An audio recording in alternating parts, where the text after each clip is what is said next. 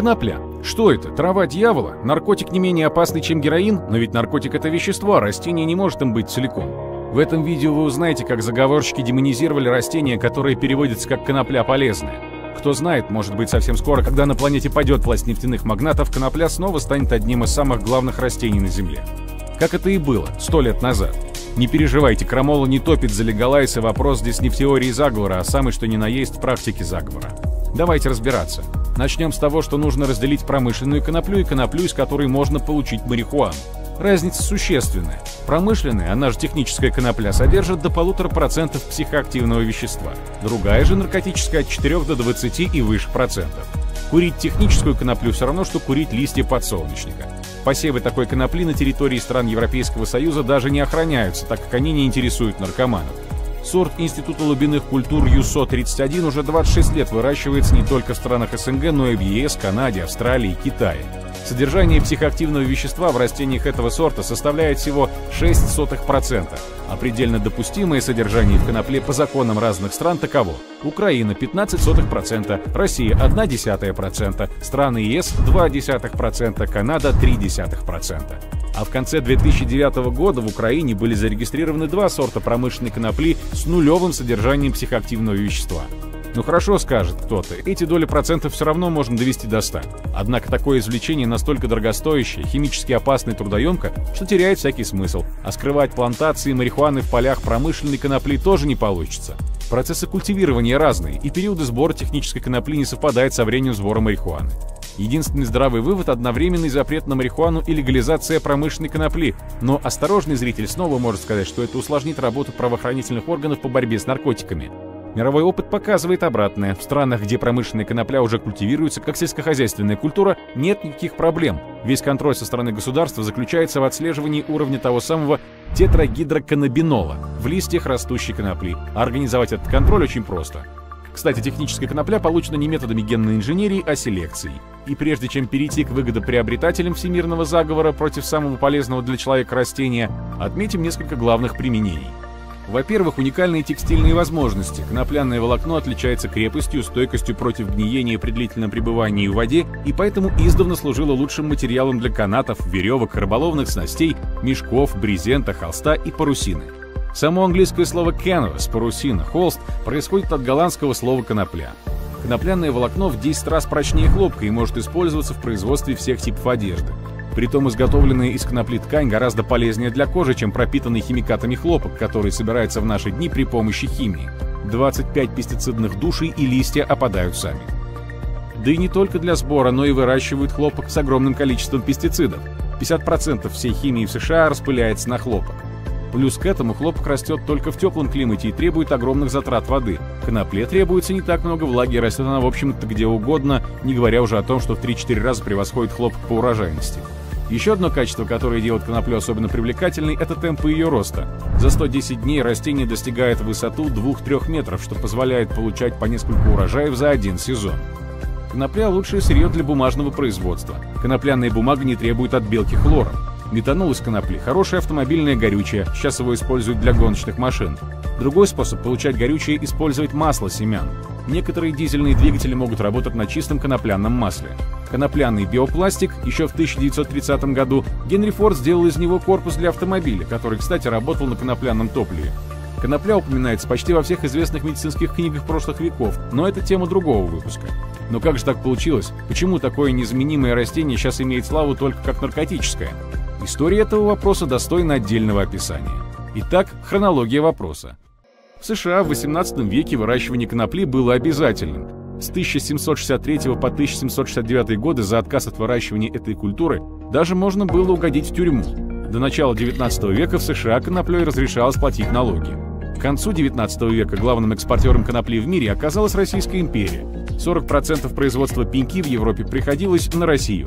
Можно смело утверждать, что на конопле держалось благосостояние целого государства. Как еще называют нашу страну? Русь Пасконная, а между прочим Пасконь – ткань из конопли. СССР также рассматривала коноплю как одну из основных сельскохозяйственных культур. Ее посевы в 1936 году, 680 тысяч гектар, составляли ни много ни мало 4 пятых всей мировой площади под коноплей.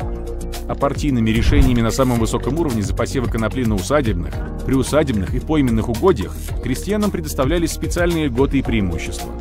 Статус конопли как главной сельскохозяйственной культуры в СССР был увековечен в 1954 году в знаменитом фонтане дружбы народов на ВДНХ в Москве. Значок «Мастеру коноплеводства» — это не мем, сделанный в фотошопе ради прикола, а реальный артефакт тех лет. А словосочетание «коноплеуборочный комбайн» тогда не вызывало глупого хихиканья.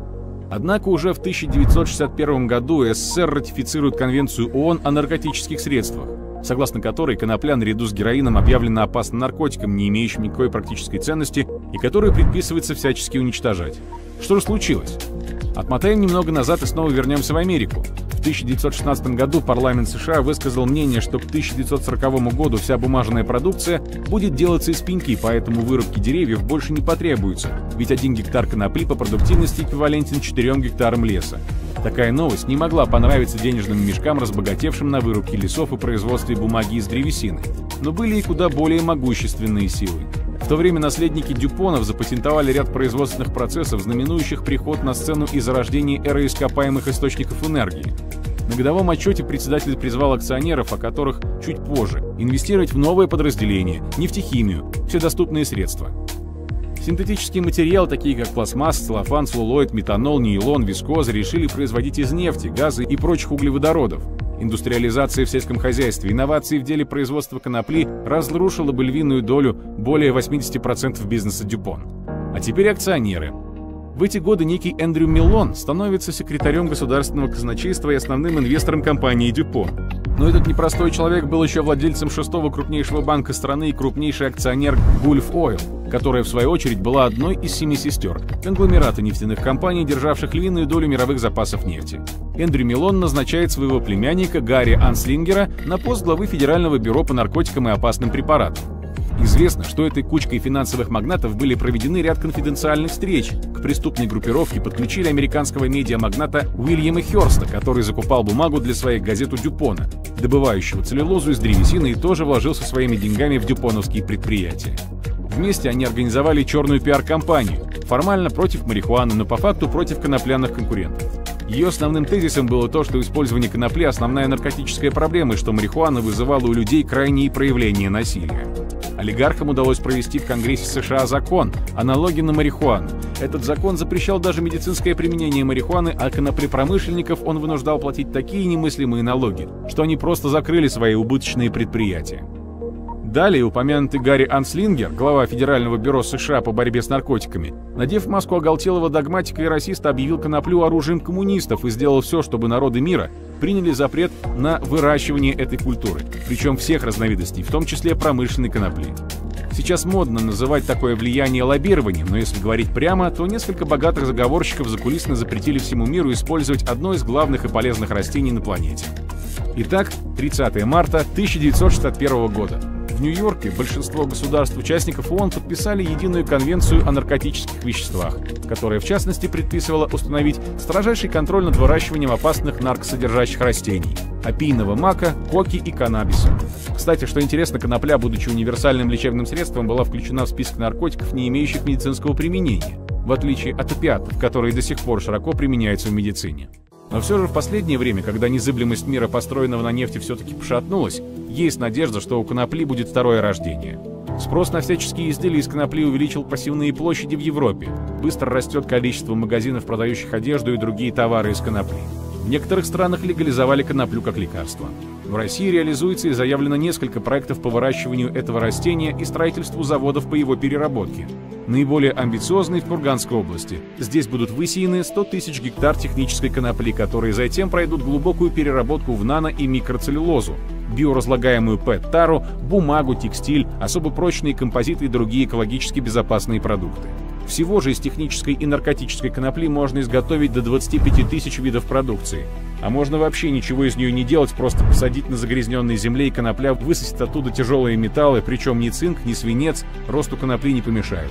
В Германии, где земли, выведенные из сельскохозяйственного производства, занимают до 15% от общего земельного фонда, фермеры получают дотацию от государства на возделывание там конопли, разумеется, без наркотической. Вот такая не очень веселая история, друзья. В очередной раз нефтяные магнаты, мягко говоря, навязывали свои решения всему миру, а говоря жестко, нагнули и посадили весь мир на нефтяную синтетическую иглу. Что думаете по этому поводу? Посмотрим, что вы напишите в комментариях. Благодарим за оценку видео и до скорых встреч на нашем канале.